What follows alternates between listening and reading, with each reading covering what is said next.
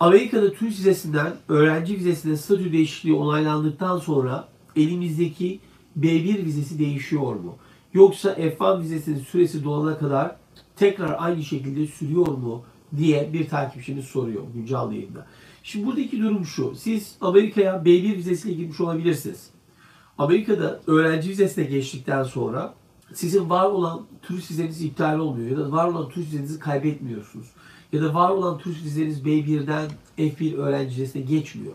Sadece Amerika'da bulunduğunuz B1 statüsü F1 statüsüne geçiyor, öğrenci statüsüne. Yoksa vizeniz hala aldığınız turist vizesi oluyor ve o vizeniz hala pasaportunuzda geçerliliğini koruyor ve bu noktada herhangi bir pasaport üzerindeki vize noktasında bir değişim söz konusu olmuyor. Farz edelim eğitiminizi tamamladınız ve ülke dışına gittiniz. Bu sefer ileride gelmek istediğinizde elinizde var olan turist vizesiyle tekrar gelip gezme amacıyla Amerika'ya girmenizde herhangi bir engel olmayacaktır deyip bu takipçimizin sorusunu cevaplamış olalım.